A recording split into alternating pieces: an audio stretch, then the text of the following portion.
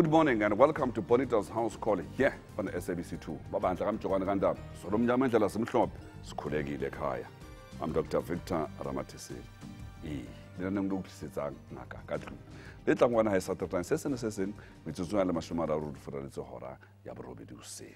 Ladies and gentlemen, Allow me this morning to please introduce to you Professor Tim Noakes, accompanied by Dr. Gail Ashford, specialist and family physician. Now, he's one of South Africa's foremost scientists who has made it his business to challenge long-held beliefs and practices in the world of medicine. It has been a source of irritation for many authorities, only for them to finally agree with him after many years of acrimony and disagreement. But now he has introduced the Noakes diet. And many are saying, this time he has gone too far. You be the judge. Flying economy back to Cape Town. And he overlaps into the other seat. And next to him is a lovely old lady, and she starts tweeting or something that this man is grossly obese and he's in my space and I'm having a terrible flight. And he, the guy gets so embarrassed that he gets in his car and he drives to his general practitioner and arrives there late in the afternoon. And she says to him, You've got high blood pressure and you've got diabetes. I must hospitalize you now because you're going to die before tomorrow morning, you see. so, so, so, so he says, No, give me six months. I'm going home and I'm going to find the solution. So he goes on the internet and very quickly he discovers the so called Noakes diet. And he says, That's it, I'm trying the Noakes diet. Okay, now, now this very important point. He got his information off the internet. He did not consult a doctor, and he did everything himself. And that's the future, ladies and gentlemen, of medicine. Medicine is in real trouble because either you cure this guy or you don't. And if you don't, he will find someone who will cure him. And that's the future of medicine with the internet. Do, do you think he hasn't tried to lose weight? I'll give you another example later. But so he goes away, and seven months later, he loses 80 kilograms by himself. By himself. Okay. Now, did I kill this patient? yeah, yeah. so, in other words, we must put him back on the healthy diet he was eating and make him lose, gain the 80 kilograms. Okay, now he has no diabetes, he has no high blood pressure, and he says, Thank you, Dr. Noakes, for saving my life. Now, if I can cure one more person of morbid obesity, the only medical treatment known for this guy is gastric bypass surgery. That's what medicine does. And I cured this guy without ever seeing him, without ever consulting him. If I can do it for one person, I can do it for two. If I can do it for two, I can do it for four. If I can do it for four, I can do it for 16. If I can do it for 16, I can do it for everyone in the world. Okay? Because I understand what the condition is. And this is called food addiction. And I'm going to show it to you tonight. It's food addiction. That's what causes obesity. And you never hear it. They never talk about it. But that's the cause. Okay. Professor Tim Noakes, welcome this morning, Dr. Gail Ashford. Thank you very much for coming in this morning. I mean, we, don't, we, we actually have one hour to achieve what can reasonably be done in five hours, but let, let, let, let's make a start. Now, I, I was there representing House Call in December 2011, when there was an academic debate, if you wish, between Professor Tim Noakes, who had just lost X number of kilograms after starting on the Noakes diet, and the Professor Jacques Rossouw, who came out of the US, who holds all of those conventional and long-held beliefs. What has changed in the last three years?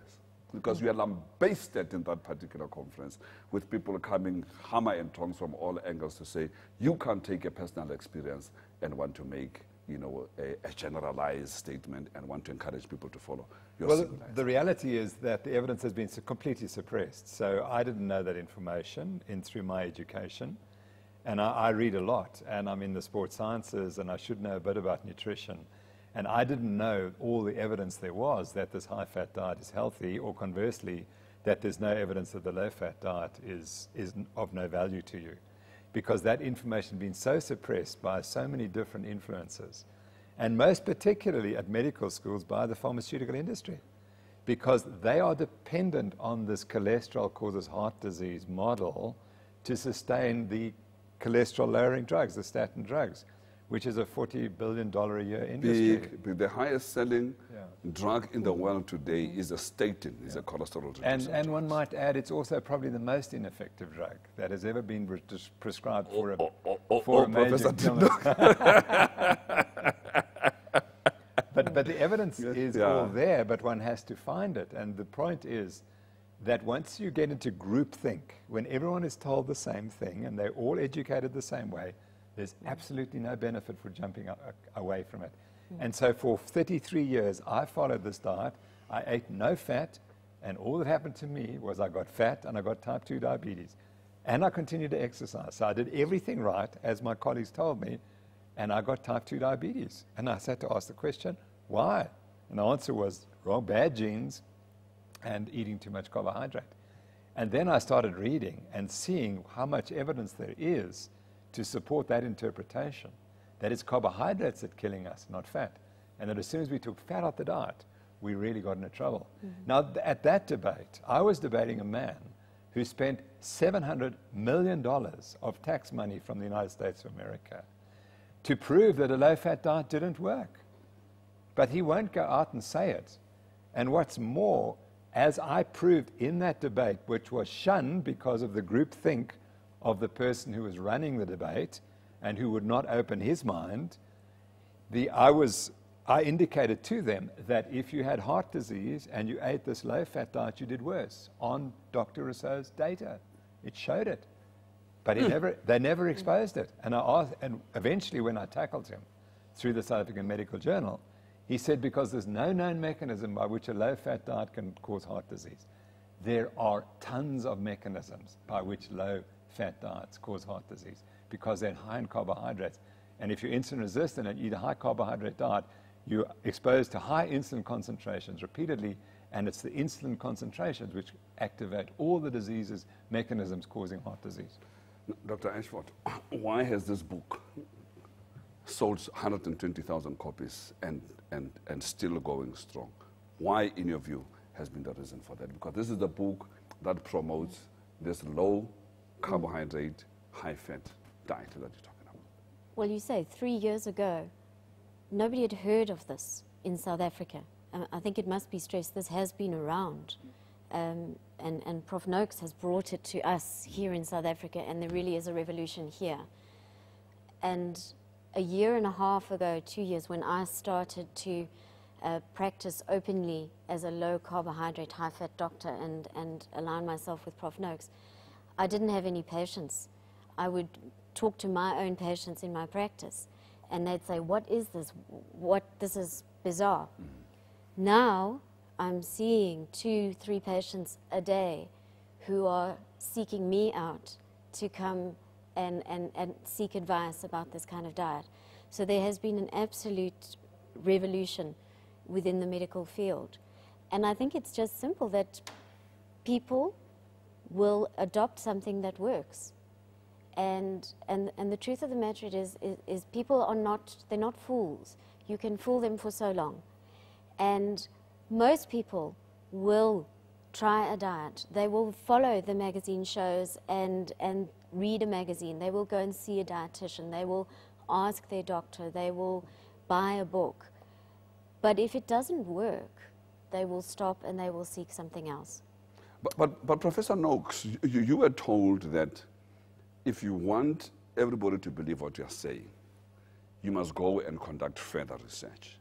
But you refused and said, no, but I, I, I don't have to go and conduct further research. Research has been done as, as, as long ago as in 1862 when William Banting and William Harvey said, I don't have to go and do the, the research has already been done. The reali- reality, Victor, is that there is no proper interven- dietary intervention that has ever been done. It is impossible. Mm.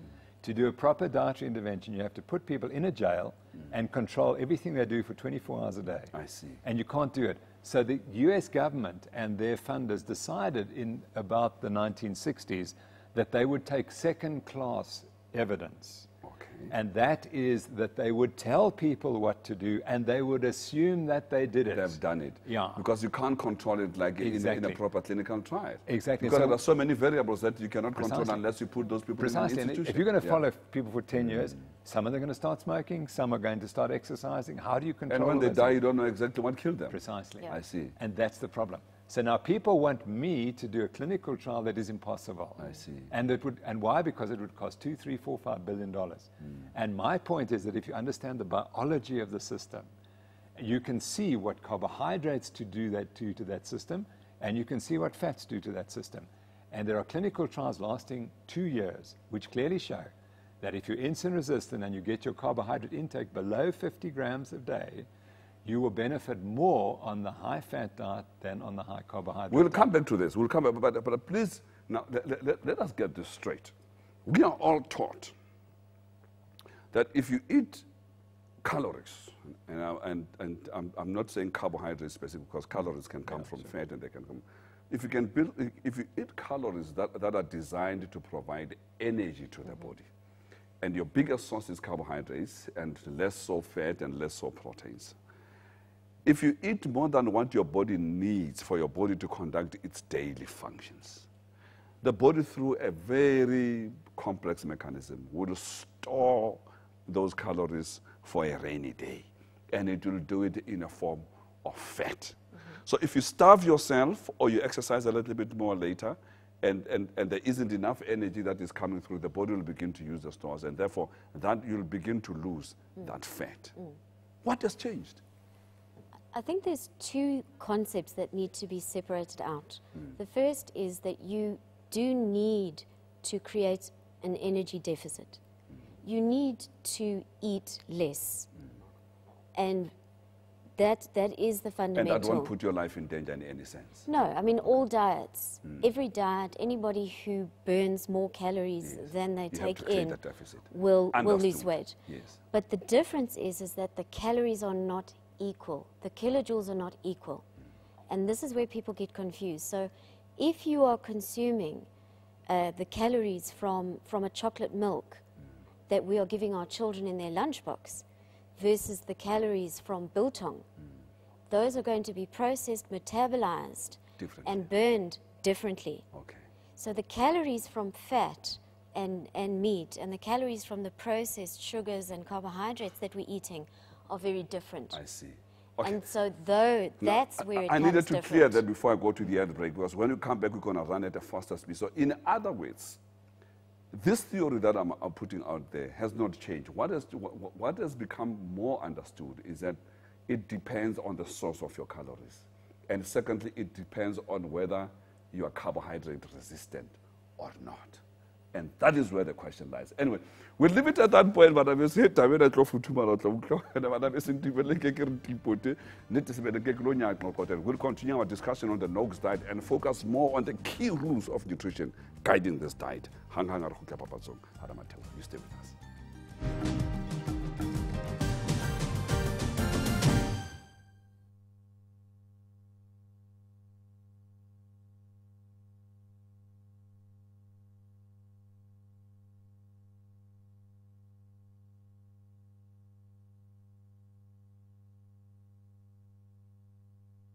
I'll take it segment three. I've got a lot to cover in this segment. Yeah.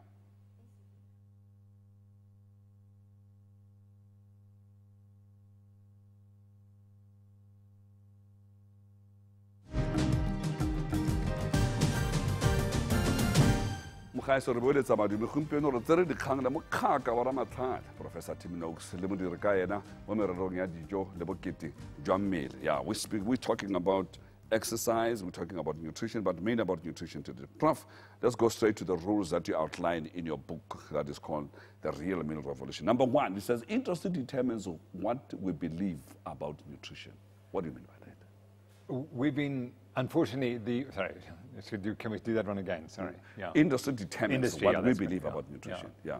Industry's job is to sell their product, and that's they have to do it whatever way they can. And they have made sure that we believe that carbohydrates are incredibly healthy and fat is unhealthy. And what do you mean by industry all the, all the industries that are providing food, but particularly the processed food industry. Hmm. They decided in the 1970s, when fat had to be removed from the diet to put sugar in its place, hmm. they soon learned that they could make these foods absolutely addictive. So at some point, fat was removed from diet and sugar was put in its place? Absolutely. To achieve what exactly? Because you have to have taste. And if you take fat out of food, it tastes like cardboard. Oh. So they had to put sugar in.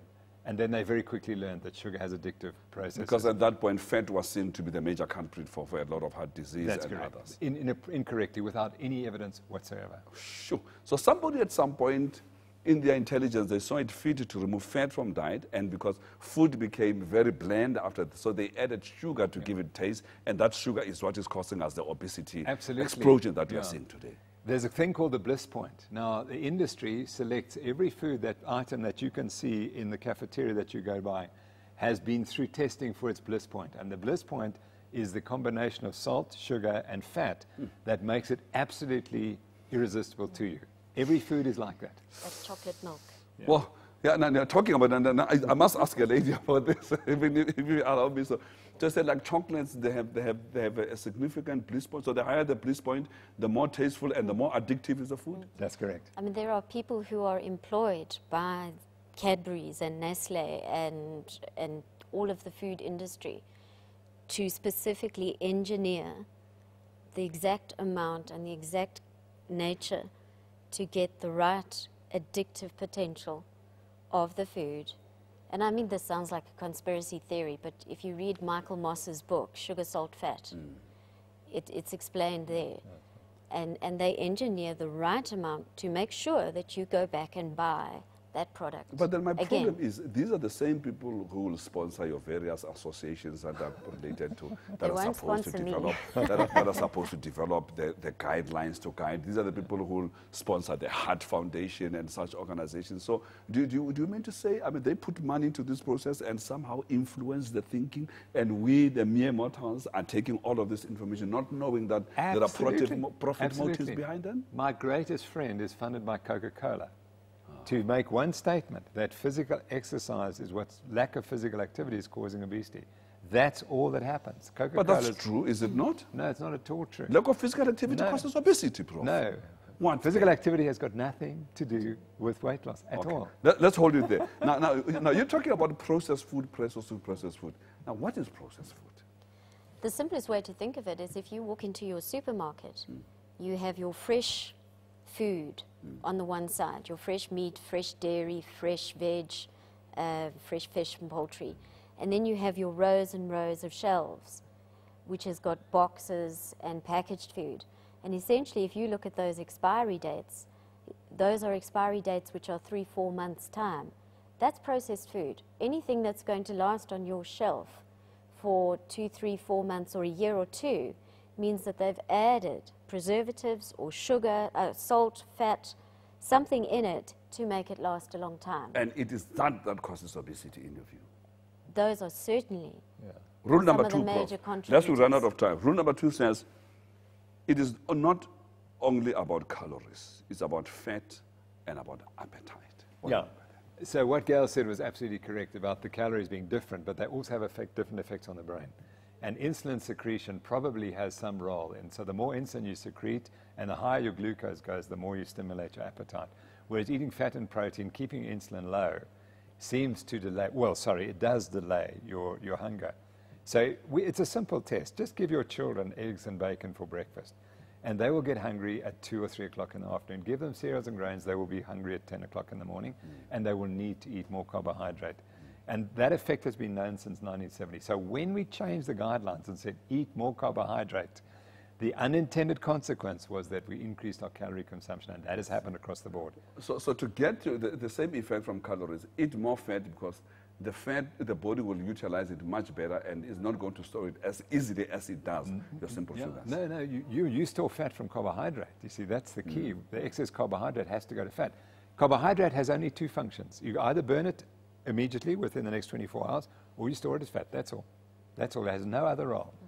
You Rule number three, there are two types of humans. Those who are carbohydrate, carbohydrate tolerant and those who are carbohydrate resistant. And I think this is where the whole Noakes died because you to keep talking about carbohydrate resistant. Carb- What does this mean exactly? In that debate we spoke about, the other professor said insulin resistance is so uncommon we can ignore it. Hmm. In America today, there are 30 million people with type, 1, type 2 diabetes, meaning they're insulin resistant. There are another 83, with pre uh, 83 million with prediabetes. That means 37%. They're insulin resistant, but they're not diabetic just yet. Th- but they will be in tomorrow mm. or the next day. That means 37% of Americans have already been clinically diagnosed as insulin resistant. And that's not even before we went and tested the ones who are supposedly healthy. But what does it mean to be insulin resistant? Insulin resistance means when you take insulin? in carbohydrate, you mm. can't store it and metabolize it normally.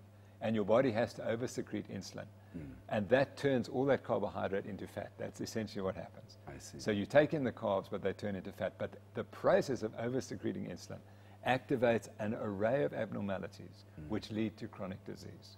So how do you know if you're insulin resistant? There's a few, few things. If you're carrying extra weight, uh, particularly around the middle, hmm. that's often a very good predictor of insulin resistance. If you're finding that you have energy crashes, so you've eaten breakfast and around mid morning or mid afternoon after lunch or evening, you find that you literally want to put your head down and sleep, that would be a predictor. If you're quite moody or, or irritable, perhaps ask your spouse.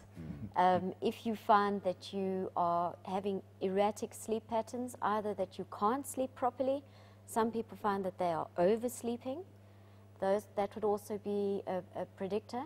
And if you're getting cravings, cravings for either sweet foods or starchy foods would also be a predictor.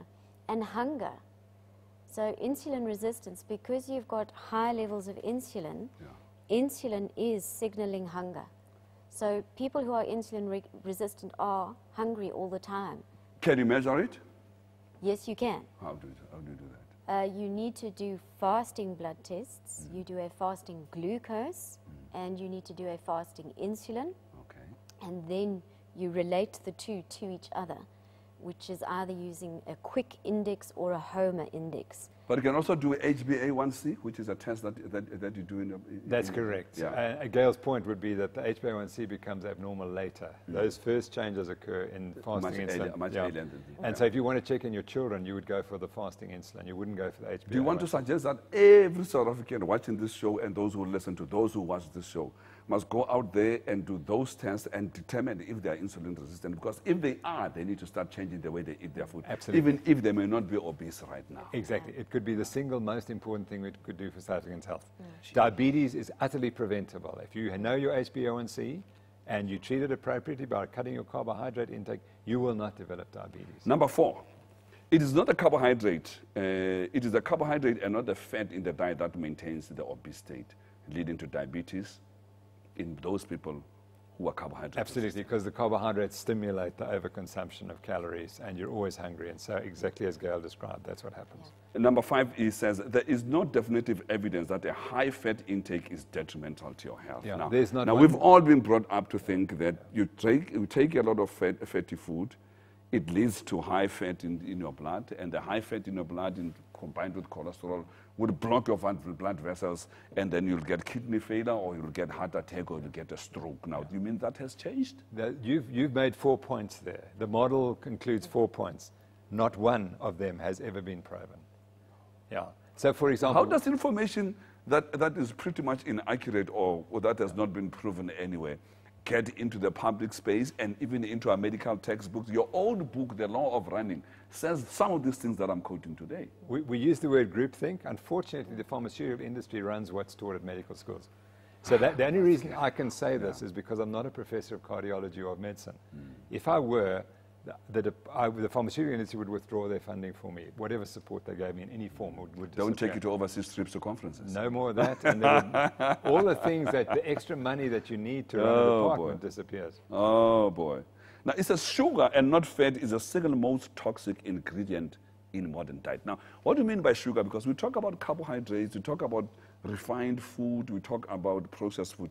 Now, when you say sugar, what do you mean exactly? Because it seems to be the most, most, most, most, most toxic according to the rules. ingredient in our food today. Yeah, and, and you know, I might disagree with you there, but that's because there's trans fat. Yeah. There's industrial trans fat, but that, that we can. We're going to talk about that a little bit later. Yes, trans, okay. Yeah, because I think trans fat is more is, is more hectic than sugar. Okay. Yeah, mm. but I think there you can get everyone to agree, even Prof. Jacques Rossouw. But what I mean by the sugar is the one that I heap and put onto my tea, or does it come in different forms? It comes in many, many forms. Hmm. So, I mean, you've got glucose, su- sucrose, fructose. Yeah. And, and glu- we're talking about the sugars that are included in foods. And I think what most people don't realize is that when you buy a product that says it's low fat, it means that it automatically has got added sugar. Eish. Ah, no, that, so, so it means if you don't want sugar, you mustn't touch anything that is low fat. Now, Yes. you know, low fat means it's unhealthy. It's a sign that it's unhealthy and you must avoid it. It means it's no. been chemically modified. Oh, no. Because to retain flavor, they've had to add something else in order to remove fat. And so the sugars are very often hidden. Let's hold it there. We'll continue this rules. We'll, when we return, we'll continue our discussion on the Noakes diet and also seek some advice on how should one diagnose it and how should one deal with this dreadful problem of carbohydrate resistance.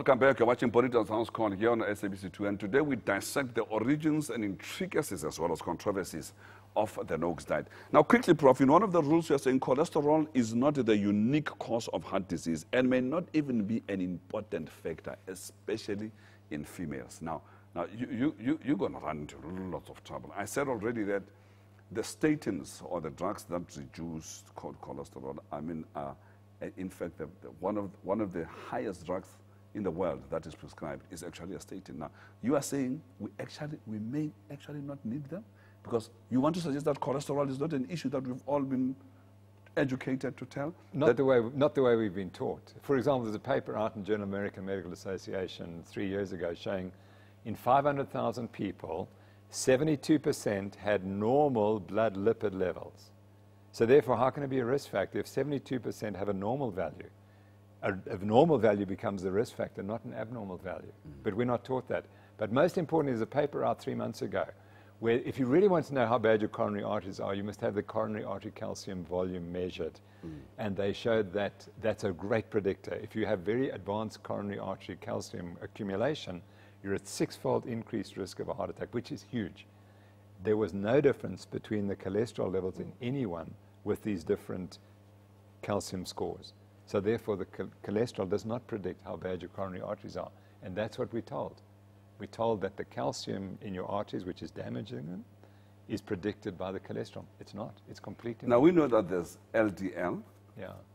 and HDL. That Yeah. HDL is a bad cholesterol and LDL is a good cholesterol. Now you are saying to us it doesn't matter. No, it does matter, but it's the LDL small particles. You see, in the LDL, which we call the bad cholesterol, we have a good bad and a bad bad, but they don't tell you that. So the good bad is the big fluffy LDL particles, which you get when you eat a high fat diet. So you say, you say LDL is, develop, i- i- is still divided into, Absolutely. into, into uh, small, medium, and Yeah. large. And And, it is the small part of the LDL that is the bad cholesterol. That's Not bad all LDL exactly. is bad. That's the bad, bad cholesterol. And we don't measure it. Why? Because the statins don't impact on it. Oh, no. Yeah. I'm going to suggest that anybody who's listening, including my own mom, who is on some statin, they must stop taking those drugs. I'm going to suggest that we start measuring and doing the correct testing. So you must check the LDL and check the small, small particle LDL, no? So we don't have the capacity in South Africa to look at particle size and number. So when we're doing our standard cholesterol profile, where you fast overnight and you go and do a cholesterol profile, we're measuring a concentration. And that doesn't tell you anything. That just tells you how much cholesterol, what number of cholesterol particles you've got in the blood. It doesn't tell you the risk. In the US, you're able to do the advanced testing. The two tests that we can do here that most cardiologists, 90% of GPs do not even know, is called an apolipoprotein A and an apolipoprotein B. Mm. Now, those tests are simple to do. They're on the standard blood forms. And if you add that on, that will tell you whether you've got a large particle, which is harmless and generally a lower number, mm. or whether you've got the smaller particle and a higher number. And if you've got the smaller LDL particle and a higher number of it, then you're at risk. But it doesn't matter what your LDL number is. Sure. So you are saying this information is not brought to the fore because the statins are not effective on that. What is effective then on the small particle? Probably niacin's the only drug that seems to have some role, but it's quite a tough drug to take. Would exercise affect it? I'm not sure. Probably you do need to look at, at what you, how much, what the fat, where the fat's coming from. Diet affects it. Now, you are saying, uh, uh, and I'm quoting here uh, Dr. Shehem, who's one of the people that he said, to fully understand the disease, the doctor needs to first develop that condition and then learn to live with it. Now, that was in your case.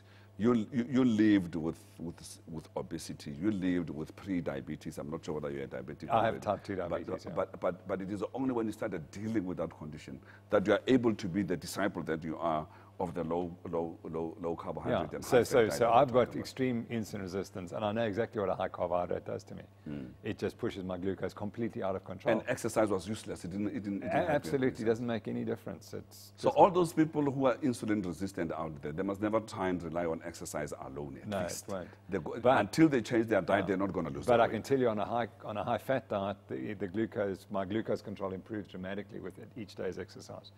It drops about half a millimole of, mi- of glucose, which is huge. Yeah, so I, so it's very important. Now, for anybody who might not have the money to buy this book or is not inclined to read, but they want to follow this uh, Noakes diet, how would you summarize what the essential features of this diet are all about? Firstly, it's eating, eating real food. Food where the ingredient is the food itself, where you don't have to read a list of ingredients. So if you have to pick up a package and read a list of ingredients, it's That's trouble. probably not a real food. Sure. But if you pick up a cabbage Hey, hey, hey, hey. or you're That's picking up tripe, you're eating a real food. So that's simple. For many people in Africa, it, it is going back to eating traditional foods. So it is eating from the, the animal from the head to the tail. It's eating the trotters, it's eating the brain, it's eating tripe, it's eating organs. Um, it's, it's making use of the full animal. What must you avoid according to the Noakes diet? refined carbohydrates particularly, but the total carbohydrate. So, so the key is that you need to cut your carbohydrate intake in proportion to your level of insulin resistance. So I eat 25 grams of carbohydrate a day, which is equivalent to one apple, and that's it. So two apples a day would completely destroy my health hmm. in the long term. And people don't realize it. It's absolutely, the margins are very fine. Hmm.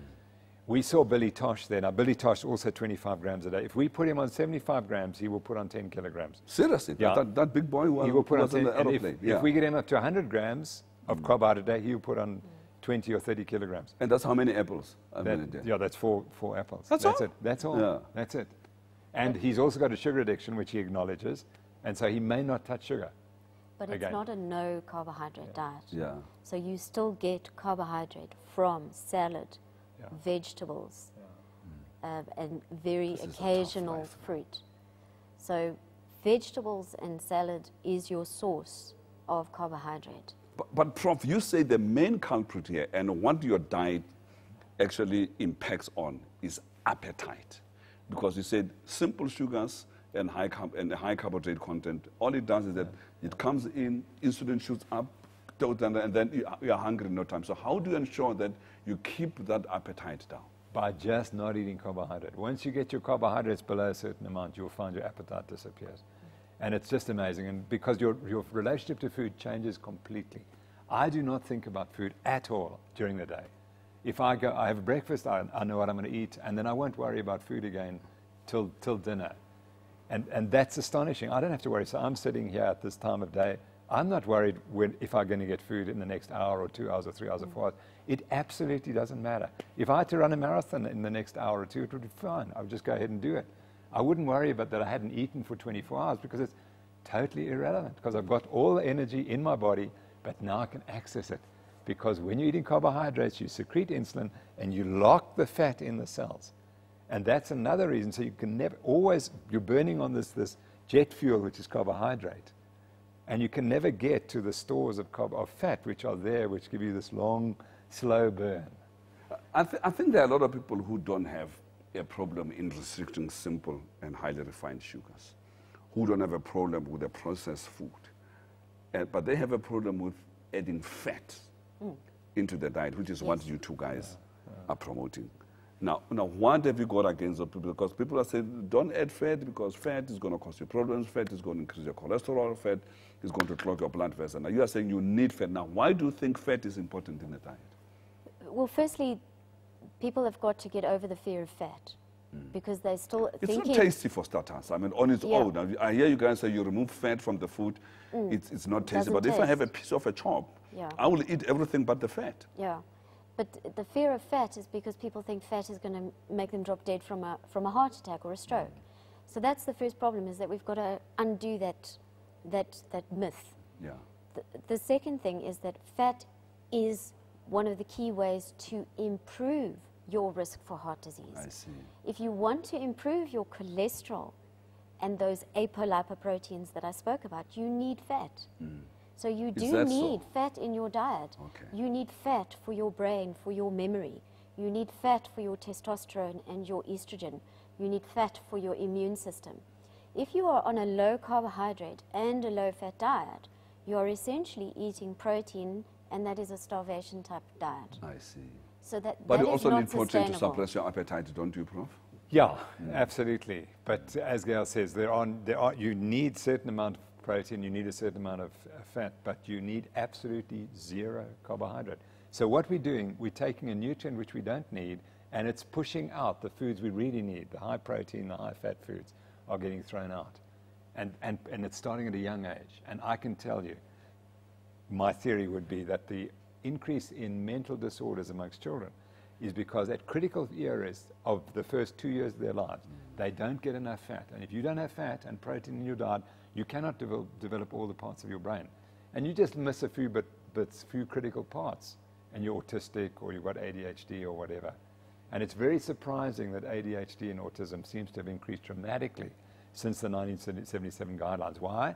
Because the mothers are feeding the children muesli and, and grains from the age of six months instead of what they really need, which is a high protein, high fat diet, because you can't build brains without it. Tell us about changes in the medical world. We'll continue our discussion on the Noakes diet after the break.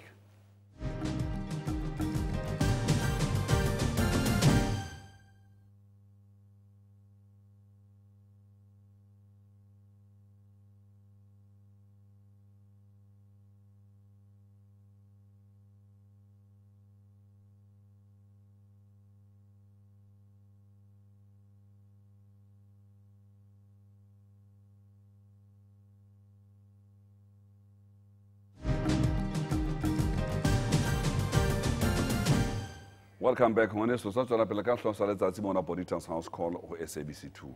Eh, lenaneo le utlwisetsang ngaka ka tlung. And today we're demystifying the Noakes diet. So in summary, Prof, uh, lest we forget, Yeah.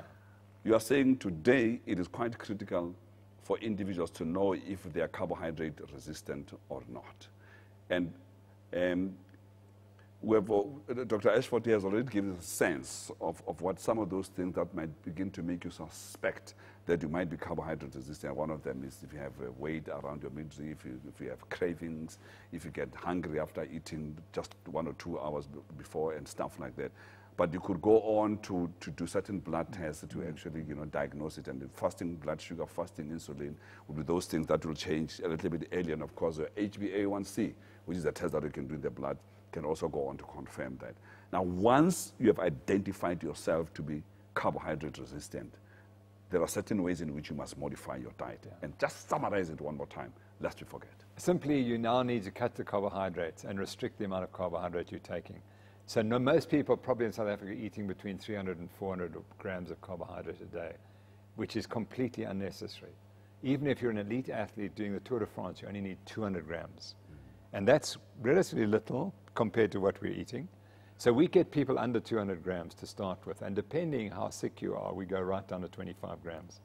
So Okay, just to, just to be practical, 200 grams of carbohydrate, what, what would that mean? What, what, what would that that mean, gives you a couple of slices of bread Yeah, and Two a- some slices, fruits. About, no, that's about five, five slices. Yeah. Five, Five slices? slices of Okay, bread. spread out throughout the day? Yeah, That's that's, it. the whole day. Okay. But remember, that's all you can have. You can't have anything else, in fruit and veg as well as that. Okay. So you, one has to find which foods have a lot of carbohydrate and restrict them. So it's pasta, rice, bread, potatoes. They have to go immediately. Okay. And so what are those things? So pasta must go, rice must go, porridge Potato- must go. porridge, potatoes, Uh, yeah. uh, m- or chip must go, and, and, and, and, what else? Chips must go. Chips gone now. Oh, yeah, yeah. Absolutely gone. Potatoes? potatoes gone as well, unfortunately. But Any we- type of potato. Yeah, uh, well, sweet potatoes all right. Ah, but, what uh, the difference between sweet potato and normal potato? Now, let- let's talk about Oh, that. my goodness. There are people who will tell you that sweet potato is much better, but how is it better? Because potato is a potato. And it is to do with the carbohydrate content of I it, see. and I think also to do with the digestibility Yeah, the of fiber. it. Okay. There's more Um, fiber in the, yeah. in the sweet potatoes. So it's like comparing a pumpkin and a butternut. I see.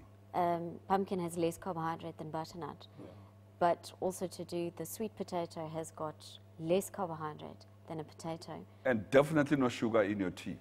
Yeah, that's a key. So, so unless you get rid of the sugar and the sweet taste, you may not survive on this diet. You have to change your diet completely to looking for fat, and that's the key. What happened when sugar was introduced into the diet across the world in after 1900 was we, we lost the natural desire to eat fat.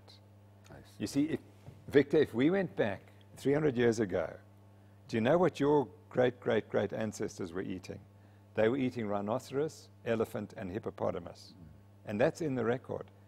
How did they catch these enormous animals? We don't know. Mm. But you look around the world, whichever, any hunter population, that's what they were eating. They were looking for the fattest animals. Humans have a desire to eat fat. And what we've done is we've taken the fat out and we replaced it with sugar. And the people noticed that immediately. Sugar came in, people became less interested in eating fat because they just wanted the sugar. How come are the French so healthy? I mean, they eat, uh, they eat all afternoon. I mean, uh, you go to Paris, I mean, all they do is eat. If you sit down with them, it's a five, six, seven, eight course meal, and they remain thin and healthy. And I don't think they die so much from heart attacks. How do they get it right? Well, it's known as the French paradox. They have the lowest rate of, of heart disease in Europe, and yet they eat the most saturated fat, this, the so called traditionally known bad fat. And they also have a lot of smokers. But I think they have a totally different culture of eating. They, they drink red wine daily. They also still have the very artisanal way of producing bread. It isn't mass produced, it's produced in the slow old processes and using natural yeasts. Um, they eat small amounts, they eat butter. They do not use these industrial seed oils. So when they make their bread, it is made with uh, natural animal oils and they put butter on their bread. And maybe they're not, they're, they're not carbohydrate resistant, most of them. That's also true, but Yeah. they, they also eat from the farm. So that Yeah. they have these markets, and they will go into the market every two or three days, which is not what we do. Speaking of alcohol, what, what is the role of alcohol in, in, manage, in weight management? And is it part of the Noakes diet by any chance? Unfortunately, it's not. We decreed mm. it's, it's off limits in the second edition. You got the first edition, it was mm. still allowed, but, You're still, you're still, yeah. yeah. but we since declared it off But limits. of all the alcohol groups, which ones, if, if, if and I know you, you won't say it on national television, I won't say which one would you allow, but which one would be the worst culprit, from umqombothi to champagne to red wine to, to, to white wine to whiskey to brandy, which one would you say is the worst culprit? Well, I would say something like umqombothi is mm. probably one of the better because it, it's got the yeasts and it's mm. got the slow brewed, so it's got the fermentation Yeah. process. So from that point, you might get some of the health benefits, the probiotic Okay. nature.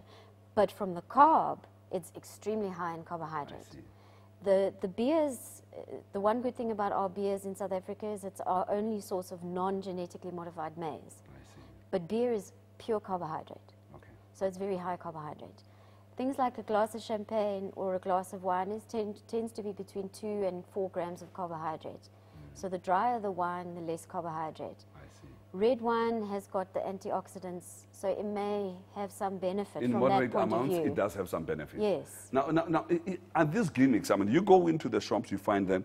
There's a diabetic ice cream, and there's a low sugar uh, cool drink, and uh, there's a low sugar uh, this and that. They're Uh, all, uh, they're, they're all Yeah. processed foods. You don't want Yeah. them. We don't eat processed foods. Yeah. Oh, no. yeah. But some of the drinks that are supposed to be low carbohydrate or They, zero but they've still, carbohydrate. oh, they've got some other sweetener in them, an artificial Yes. sweetener, which Yeah. is, con- keeps you looking for sweet, searching for sweetness. The, prob- the problem with sweetness is that it, it might not be introducing a calorie into your gut, but it is still fooling the brain and telling you that there's something sweet coming in.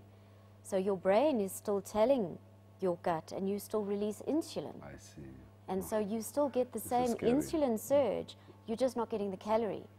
But the problem is that you want to get rid of your insulin so that you can reduce your insulin resistance. So the sweeteners are still a problem.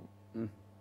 So you say anybody who's a sweet tooth do have carbohydrate resistance after all? Uh, may well do, yeah. And they, to, to long, for the long-term health, unfortunately, you have to get rid of it in the long term. And you are saying anything that is low fat in your diet, it does not, it's got no room in your diet. None at all, because it, it's, it, it is it's taboo. in unhealthy. It must be And anything that is supposed to be low sugar this or no sugar this is just a gimmick. It is a just as gimmick, dangerous. Yeah, exactly correct. And fruit, do you allow fruit to be eaten at any Uh, level? we only really berries are acceptable because they're low in carbohydrate, but they're high in nutrients. I see. But the other food, the other fruits are a sweet, and you must they're a treat. You can may eat them occasionally, but that's but very infrequent. So if I know what's good for me, I must stop eating bananas, I must stop eating peaches. It doesn't Yeah. matter whether they are processed They- in a tin or you might as well just take a bag of glucose and eat it like that because it's exactly the same response. Kwaze kwanzima. Ewu bakithi ayisavelelwa ke thina ke sihlala siyidamzela ke kumadumbe kujeqe kanye cha eyi waze wasiyala madoda mna. Awu siphelele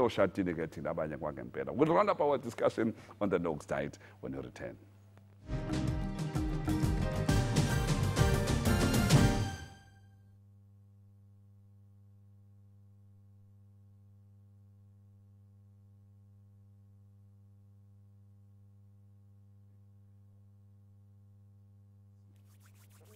close the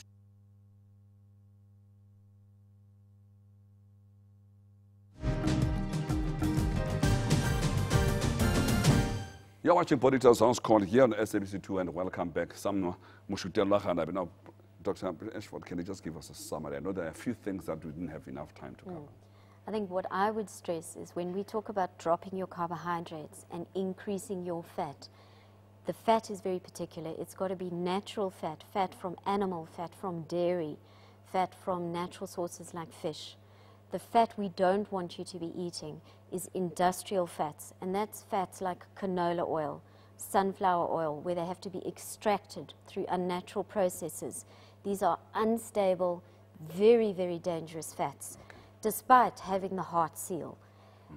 Even if they have a heart seal. Trans fats are what it becomes, and trans fats are universally accepted to be the kind of fats that are toxic to the heart And very and the dangerous. brain. Prof, Absolutely. your key words.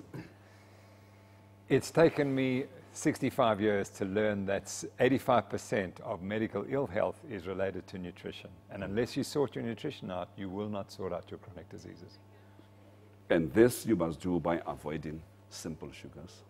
If you are insulin resistant, absolutely. So it's important for all of us to know if you are insulin resistant because if we are, there are certain things that we need to avoid and there are certain things that we need to up, which is fat in our diet and a little bit of protein so that we are able to deal with the insulin resistance and we can rid ourselves of obesity and everything else that comes with obesity. Ladies and gentlemen, thank you very much, Prof. Thank you very much, Dr. Ashworth. That was to you, the Noakes diet. If you know, the results are there for everybody to see. Try it. It is not dangerous at least, and you've seen evidence that people have lost weight and they've improved their lives by using the diet. I, for one, promote it. se jo se tswile go boji mme se tlhabosega go ya mata go rona barati ba tshegetsi ba thasele le ba kgothometse ka sejana